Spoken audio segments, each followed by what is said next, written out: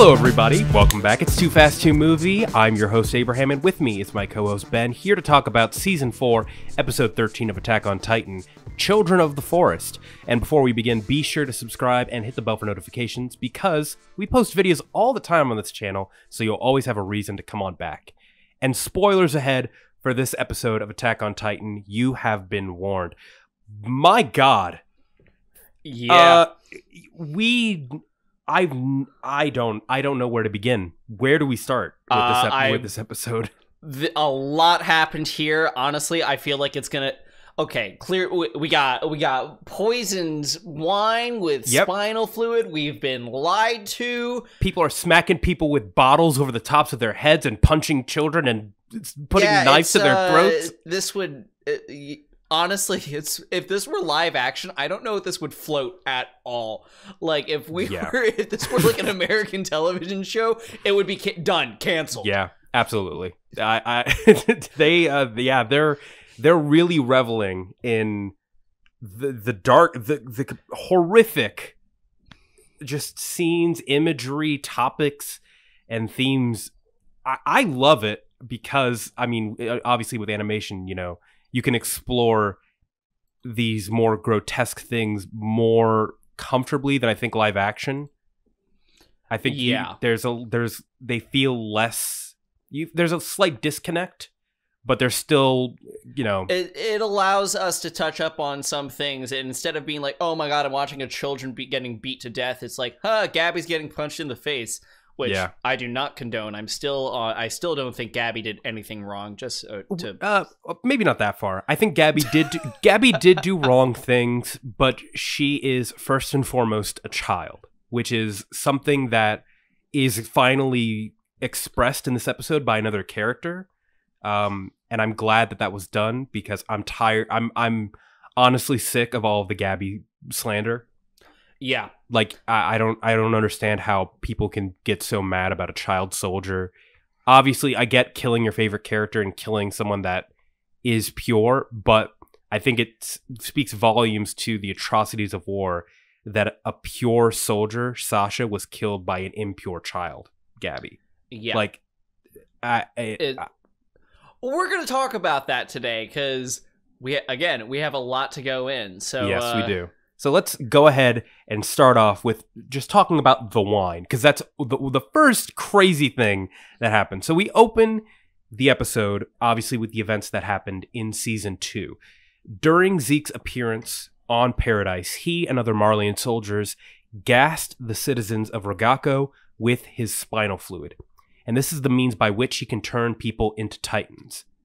At the restaurant, Gabby and Falco are having a meal with the Braus family, and in the middle of the lunch, the scouts arrive and ask to speak with Nicolo about the volunteers and to get more information on Yelena.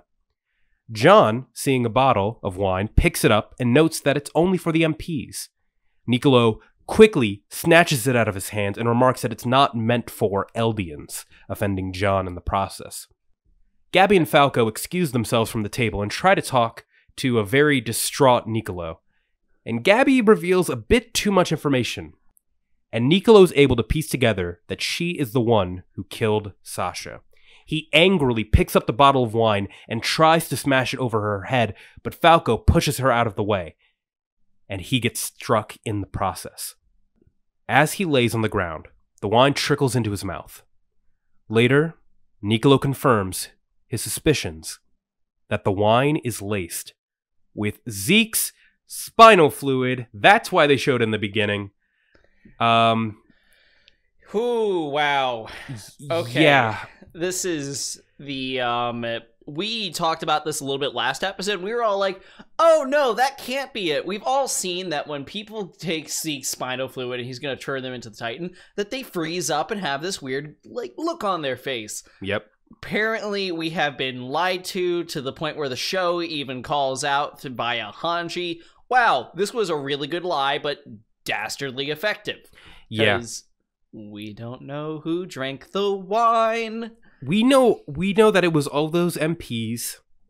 Um, and really, it doesn't matter who drank the wine necessarily. I mean, it does for our favorite characters because obviously we want them to be alive.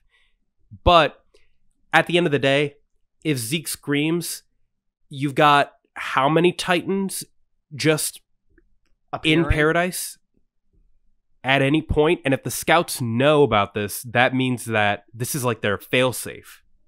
It's Yeah. Like if things go wrong and we're we're against the clock and things are ramping down or things are crumbling around us, yell.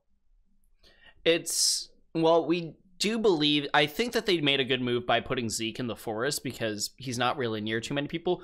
We've also seen that wine has been served in the forest, though. I don't know how Yeah. intention. I the the issue with this, and this is the reason. Like, it's the reason why I hate people that are like, "Oh, the drapes are blue because the author just." Wanted them to be blue. No, the drapes are blue because it's going to turn into a goddamn Titan in two episodes. Yeah. Um, it's again, we've been talking about the Chekhov's gun. Like they everything that's happened in the show is very intentional. And when they showed that close up of the of people in the forest drinking the wine next to Zeke calmly reading the book, that tells me that Zeke has been communicating this plan like before they arrived on paradise. And because of the conversation that Levi had in front of him, where one of them like whispered in his ear and said, Wait, are you serious? That means Zeke knows what's going down in paradise, essentially, to some extent. it's um, I mean, he had Yelena as his first point of contact when he came over. Like, basically, Yelena's been able to act as his mouthpiece the entire time, and I'm sure that this is something that the audience is very aware of at this point. Yeah. Um, but it's it really just comes down to how much foresight did he and Eren have when it came to this, and how much like is this going to be a leverage point for them for negotiating, or is this going to be their plan well, to get By- rid of the top brass? by Floch's conversation that happens later on in the episode, which we'll talk about then, there is no negotiating. A- At least from the Jaegerists. It doesn't seem like they have all of the cards now. They, because everybody in the military that's top brass has drunk the wine, it seems. Because, you know, as, uh, as Nicolo says, they have been like pressured to give this wine to the top brass. Maybe they didn't know about it, but there might be others like Nicolo who don't know the full extent of it and then just might be innocently giving people these this wine. It could hell, it could even be going to people that aren't even top brass if people don't even know about it. Like there's a possibility that some of our favorite characters could have drunken this wine I could, and they just didn't know about it because I could easily see Levi and Hanji ending up in that pool. Also, we still have the wild card of Historia and what role she's going to play in all this. yeah. Um, And we we didn't even talk about the immediate thing. Falco has drunk the wine. Falco drank the wine. I mean, potentially. the only way that he's coming back is if he eats a shifter, which the odds of that happening in the chaos of battle, I mean, it's possible, but I And- actually, I have a theory of just how it's going to be written. That because he is the person who's supposed to inherit the armored titan, oh, if Yeah. uh and because we already know our uh, our war units already here i could totally see oh, shoot i'm i his Reiner. reiner thank you i could totally see reiner making the decision if he finds out what happened to him and that he's been shifted he that sacrifices. he's going to sacrifice himself so oh that no, i could would. totally see it I could, and that It's- totally makes sense. You just said that, and it makes total sense because he's been wanting to die for so long. And he sees Falco as the proper successor for someone who can carry the armored titan and can understand the true nature of the conflict and potentially bring some peace. Oh God, I don't want that. Well, Oh, it can't be no. Gabby. Gabby's maybe just going to be able to pull herself through to some sort of moment, but Yeah. currently it the way you look at it, she's just too much like Eren at the moment. We all know how dangerous it is for someone like Eren to be a Titan shifter. she's she's not like Eren. She is she's not. Is she though? I don't know. They're not setting her up the same way that Eren was. With Eren, We'll talk. Uh, with I Eren- I agree with that in some regards. We're gonna. have Yeah, we'll talk about that in a little bit. in another point. There's a lot this episode. It's all tangentially fucked up Yeah. together. if if we are talking about Gabby, and this could serve as a segue to the next topic, I've been seeing a lot of people online still trying to find a way to blame Gabby, or not blame Gabby, because it is her fault, but to not understand that there is more than just this character killing your favorite character.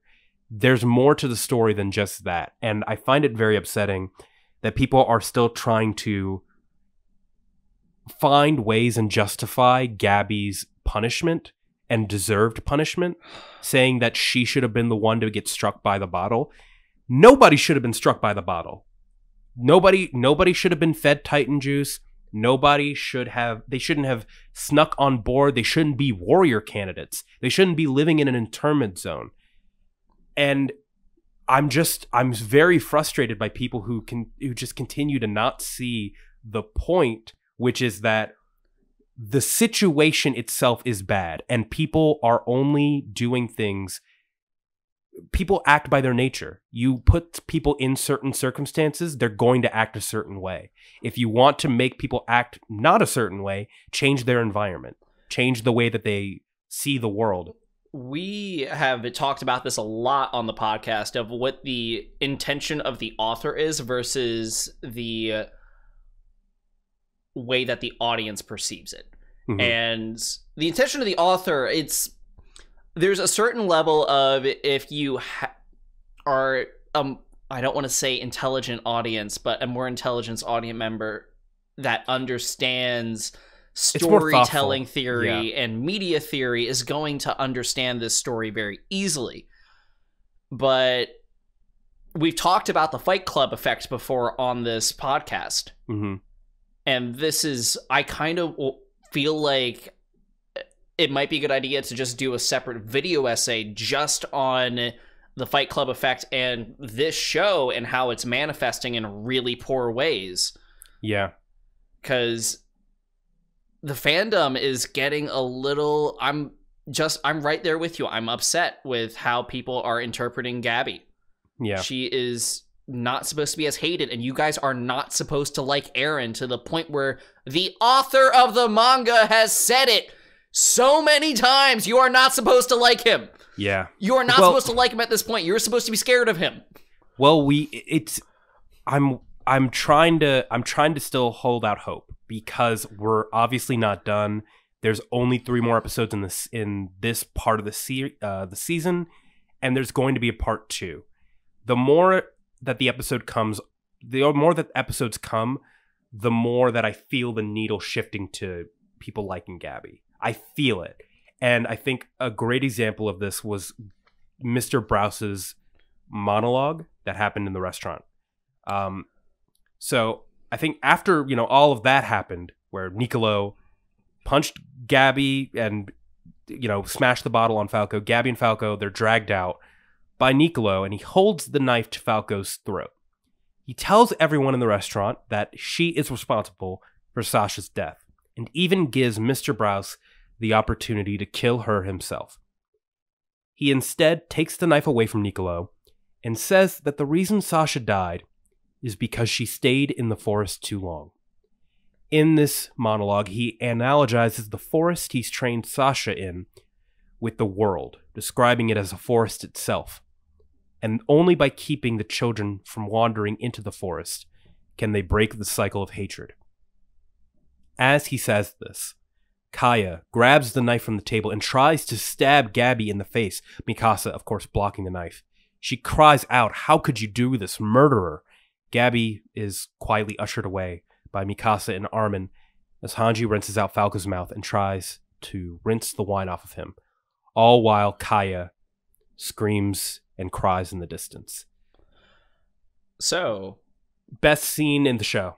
this is phenomenal for two reasons. First of all, fantastically written monologue and the drama and the ups and downs of this fr- chef's kiss, not a French kiss. I we're not tonguing the show. Yeah. Um, but the I mean, we could. It's a really good show. chef's kiss. It's a chef's, kiss, Ben. It's a chef's kiss. Where my well, the point that I was trying to get to is this is the first moment in the season where we have it's not on the nose, but it is explicit that this show has a very strong anti-war message.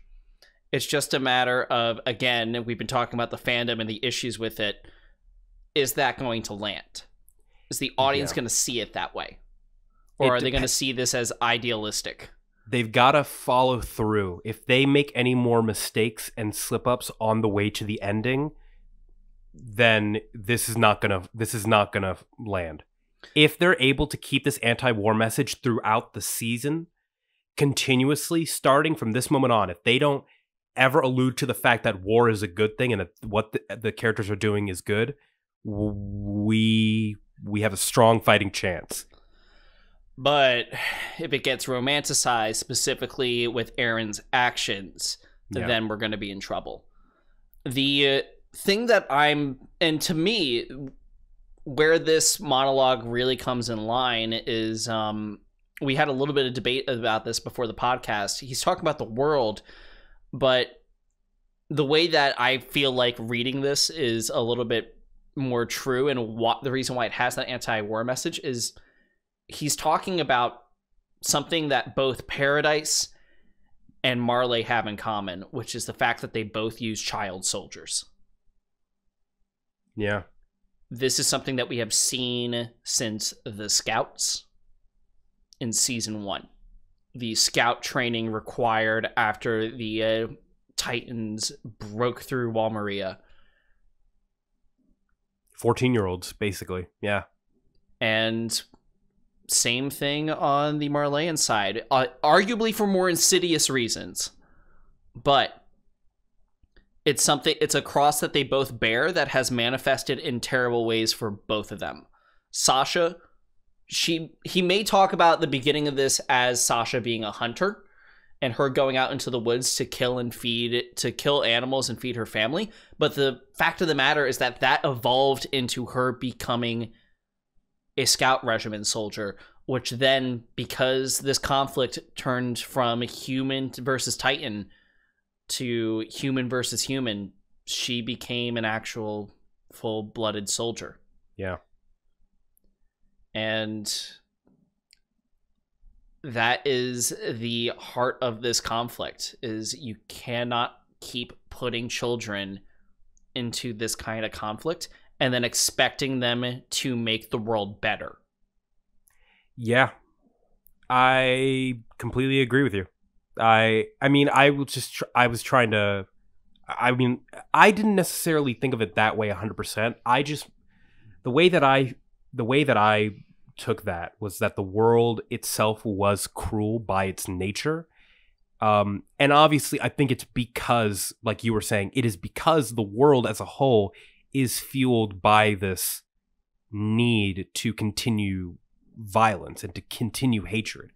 And of course, you know, I think the child soldier thing does play a part in that. And I think now listening to you say that, that could totally be what he meant explicitly.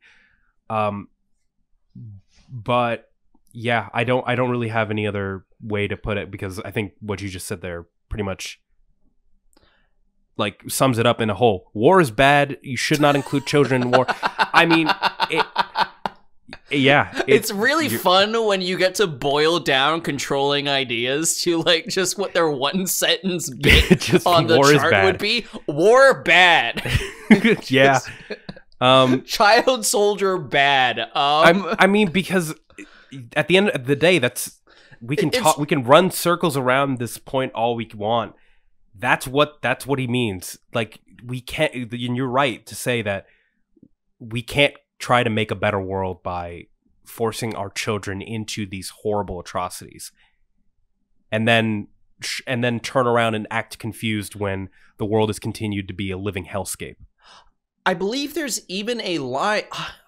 I, I believe there is a line in this monologue, or at least at this point, it turns into well, it, technically it's a solilo. It, it, it fucks monologues, soliloquies are the same thing in TV. Um, but there is technically a point where I believe he turns toward um, uh, oh, shoot, I'm I'm I'm losing names right now. I'm losing names. Uh, Nicolo. Nicolo. I, for some reason, I started. I thought it started with an H. I need like a cheat sheet.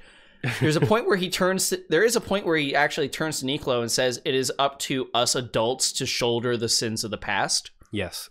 Which I think is probably the most on the nose moment of it. Um, but it's very concise in what its messaging is, and a really important thing to note is what this whole thing has actually now done for Gabby's character.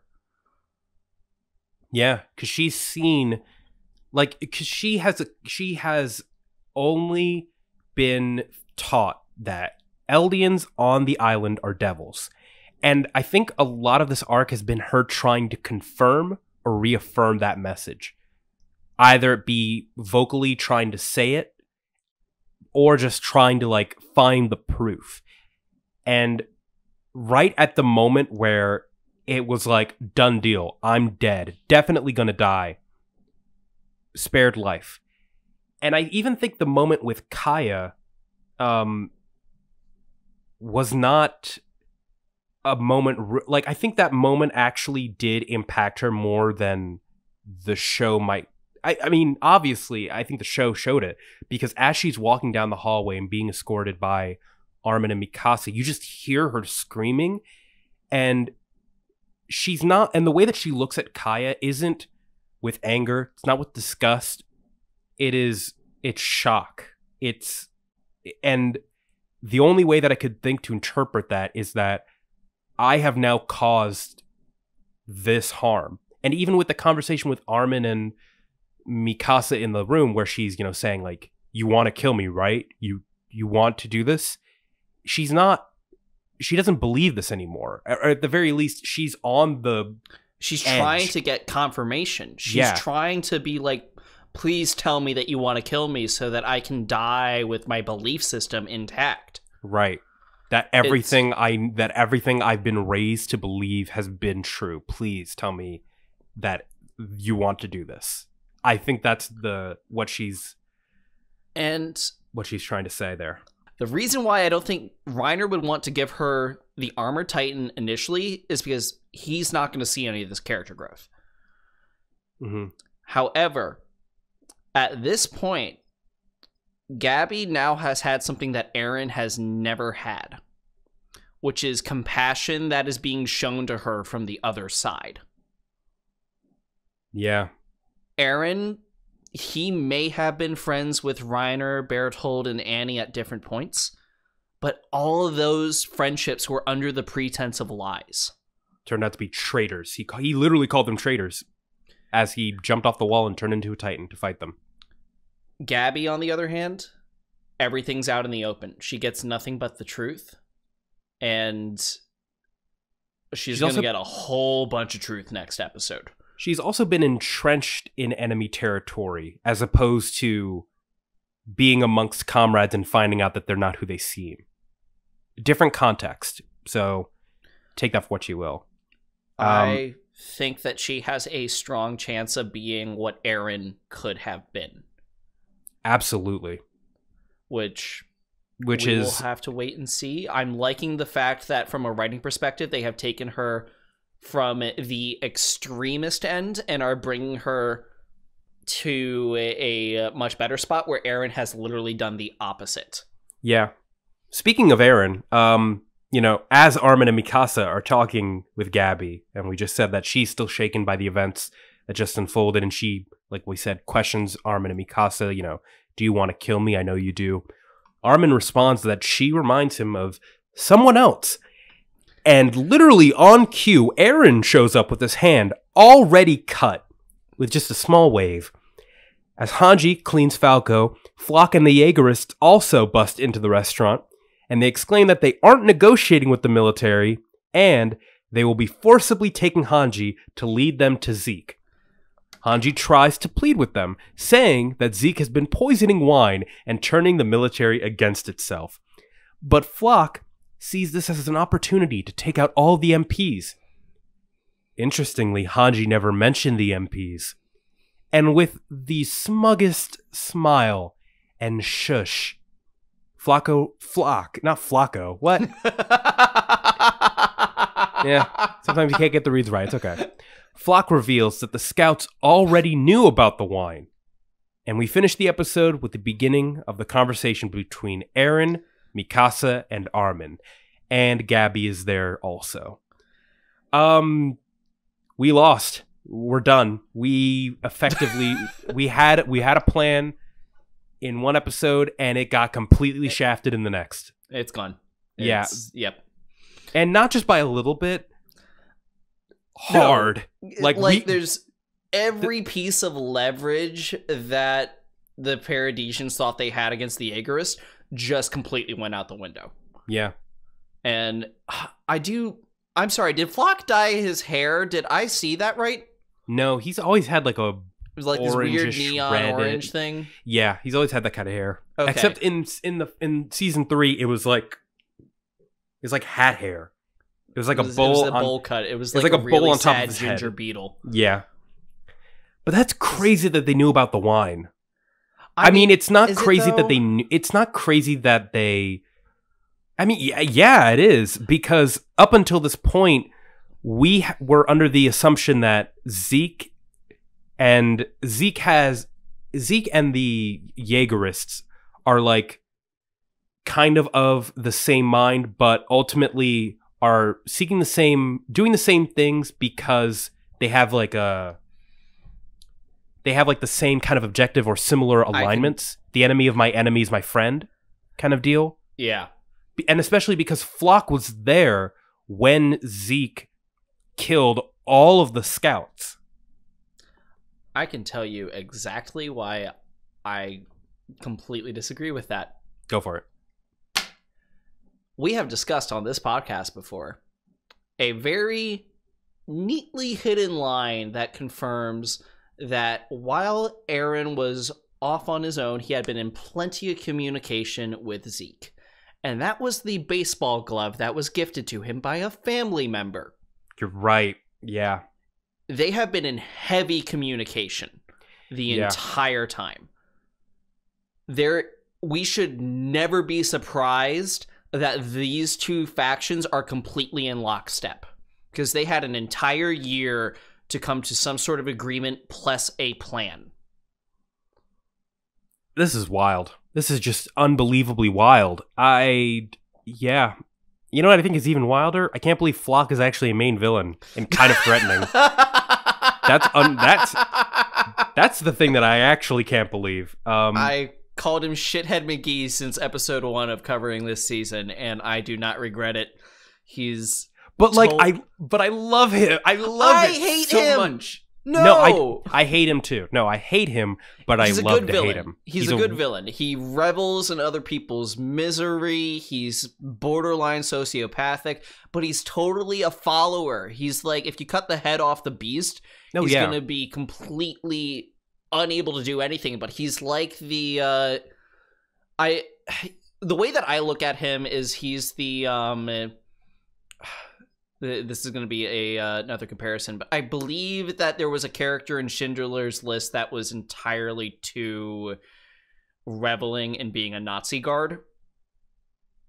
Um, don't Maybe- remember the movie, but I get the sentiment that you're talking yeah, about. it's it's one of those. It's a it's total henchman, but entirely too into their job. The only difference, though, is that with Floch, he has a very. He is all about following people who he believes will help him and his people. It's very much like his intentions are weirdly good. Mm, are I they? mean, Do Well, I, I have to bring up Nazi Germany again and how a lot of people thought they were doing the right thing there? we don't even well yeah obviously but we don't even know what eren's plan is we don't know what the what the big end game is i mean obviously we're kind of suspecting that it's gonna be the rumbling but i mean we haven't we haven't explicitly been told what the plan is. oh man. I just Uh, I hope I hope the plan isn't just hey, we're going to destroy the world because everyone sucks. I hope that's not no, it. it's got to be more com- it, it's got to be more complicated than that. I'm yeah. I'm hoping that what this turns into is Eren has some sort of justified plan, but everyone else is piggybacking off of it for their own self interest. Because one thing that when we're talking about Eren, there is something very important to just note about his demeanor when he says, "I wanted to talk to you guys." First of all, he says it in the past tense. Second of all, he's not making eye contact. He's looking down. He and he looks He is- distraught. visibly well here's the thing body language 101 someone looking down is usually shame Yeah. he knows that whatever is about to happen is either bad or he knows that he's not going to be able to get his friends back okay this is actually something i wanted to pose to you during because we're we were just talking about what is eren going to say during this conversation. Here's what i'm thinking. I think that eren is going to say and this ties into something that you said a few episodes back. I think this is going to be the point where eren says to mikasa and armin hey things are about to go crazy. Like because like the wine has been poisoned uh military's taken over. Zeke's probably going to get out soon. Paradise is going to probably attack, and Marley. maybe Zeke, maybe Zeke even, uh, or sorry, Marleyan is going to attack, and Zeke might have even taken that precaution. well Like he he blew off, like he blew off his arms and his legs, and it wasn't enough. Was that part of the plan? And so this might be part of Eren's conversation to Mikasa and Armin, saying, "Hey, join me." I think he wants his friends on his side. I think he's going to want them to be Jaegerist. And there's two reasons for this. First of all, it's his friends. He loves Mikasa. Armin has been his best bud since season one. Yeah. And there's no going back on that. As another note, Armin is the colossal titan, Yeah. You can't just very important asset. Yeah, you can't just not you can't just get rid of that. And I don't think Eren will try and get him killed at all. But Mhm. I think Eren could be like, if you guys don't join me, I can't promise that they're not going to come after you, Armin. Yeah. Like, It's- I'm sure Zeke has some sort of plans for the Colossal Titan.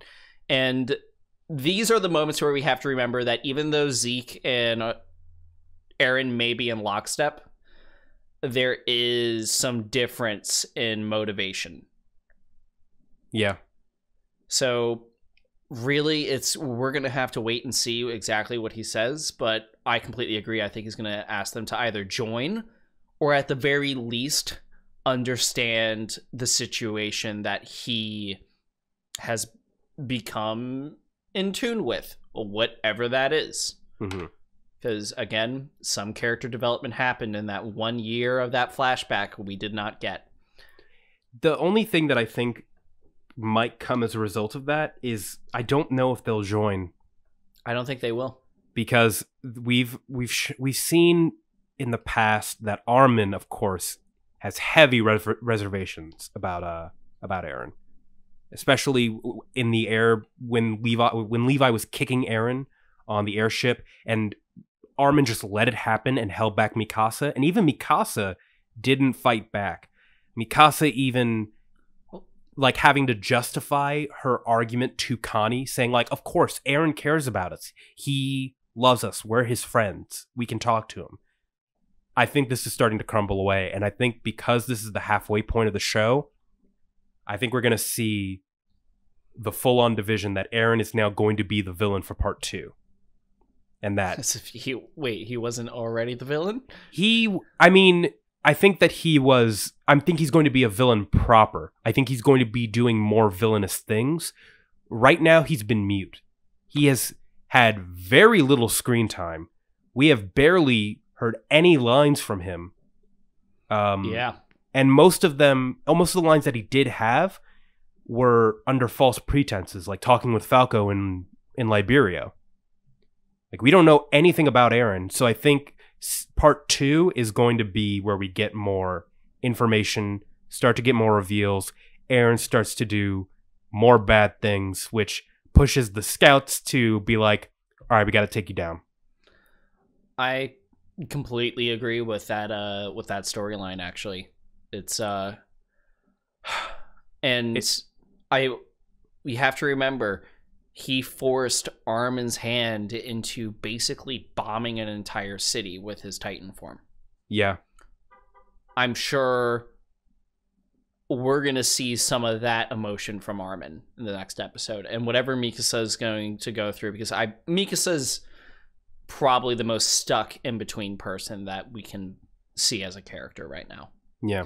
Well, let's talk about that because in the preview we do see Armin and Mikasa, and they look shook. Um, Eren still looks dead inside.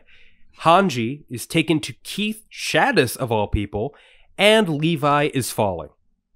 That's all we see, and the episode is titled "Savagery." Um, we also see that Floch is with Keith Shadis as well, so it seems like Floch is going to be taking on scout recruits, new, fresh, fresh meat, basically, and trying to I, uh, enlist them into this new cause. Destabilized country. Yep.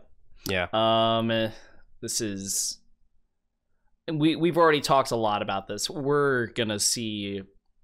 Uh, frankly, we have to see. I could see Keith Shadis being an Eren sympathizer because of Eren's mother and his Yeah. relationship as a whole. Again, we've already talked plenty about Mikasa and Armin. I think the real big piece is what's going to happen with Zeke and Levi. I mean, they've shown the wine in the forest. We know that they've been drinking wine. I have a theory Go about for the it. Ackermans. We have discussed at length um, how important race is in this show.